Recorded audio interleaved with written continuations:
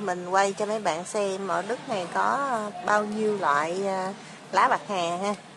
Lá bạc hà để ờ, làm các món thức uống đó mấy bạn.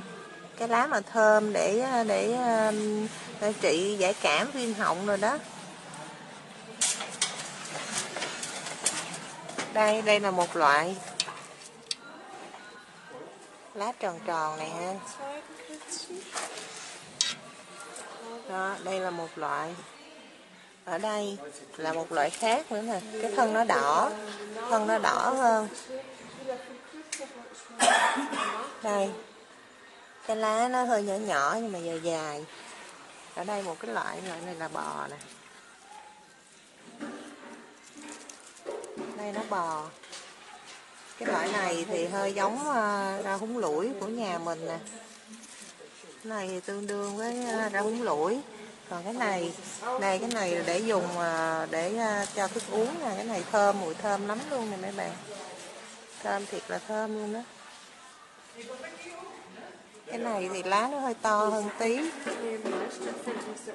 Một hai ba rồi ha ba loại rồi cái này là gân nó dày hơn nó thơm lắm. Nói chung là loại nào nó cũng thơm hết đó nhưng mà mỗi một cái loại đó nó có một cái mùi hương khác nhau cái này thì lá nó lớn lá nó to cây nó to hơn cây nó cao lắm nè. Đó.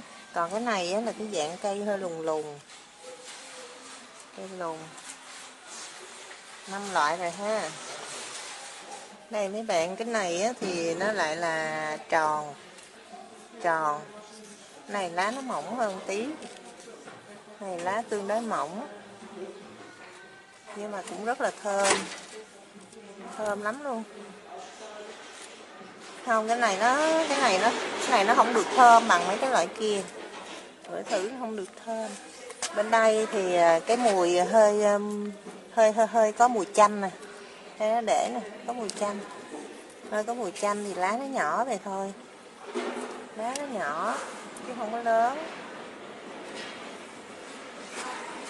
Đấy, bạn thấy nãy giờ là sáu bảy loại rồi ha? Rất là nhiều loại luôn.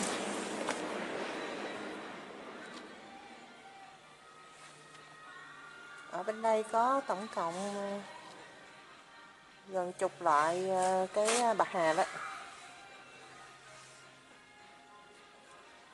Này lá to, nhưng mà cái loại có lông như ở nhà mình thì không không thấy hôm nào cái cây ở nhà mình nó nó mọc trở lại rồi mình quay cho mấy bạn coi ha.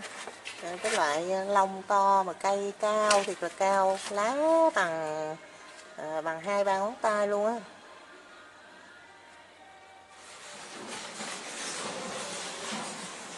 Ở đây nữa ở đây là cái dạng giống như à, rau húng lủi nè cái này nó có chút xíu à. Cây nó nhỏ nhỏ này thôi tí tí thôi. Đó ở đây nữa. Dạng này là dạng lá lá lá, lá nhỏ lắm. Mình không có thích xài mấy cái này. Còn một loại nữa ở nhà mình có một loại thì cái lông nó to nó nó nó có lông á. Lá nó bằng lớn vậy nè. Ở đây hôm nay không thấy bán đây hôm nay là ở đây có bán rau răm nè. Đó. Một chậu như vậy là giá là 2.49 euro. 2.49 euro là nhiêu? Là 70 ngàn đó mấy bạn. Cỡ ờ, dạ yeah. cỡ 70 ngàn. 70 ngàn đồng tiền Việt. Đó, cái chậu ra răm có tí xíu thôi nha. Nhưng mà về cái này ờ, đây cái chậu nhỏ xíu vậy thôi. Có mấy cây vậy thôi nè 70 ngàn ở ở Đức thì à, phải chấp nhận thôi mấy bạn. Mua về xong rồi mình về đó. Mình trồng xuống rồi xong mình cắt nó ra mình ghim. Xong rồi nó nhảy nhánh rồi mình cứ ghim xong rồi nó nó nó nó sẽ ra một bụi rất là rất là to luôn. Đó. bữa nay à, kiếm được cái này là mừng lắm luôn á. Bây giờ kiếm tiếp ra giáp cá nữa. Mà nãy giờ như không thấy ra giáp cá ở đây nè ở bên đây cũng có bán gừng nè, mấy bạn. Gừng nó vô chậu bán này nè. Gừng thái. Có một cây thôi. Một cây một gừng thái thôi mà là 3.99 euro, là 4 euro đó. 4 euro là gần 100 ngàn cây gừng này nè, mấy bạn. 100 ngàn cây gừng đó ha ở đây là hai cái loại mince bạc hà ở nhà mình trồng, đã trồng được à, gần 2 năm rồi các bạn. Thì cái này à, à, cái thân nó có màu hơi tím tím nè.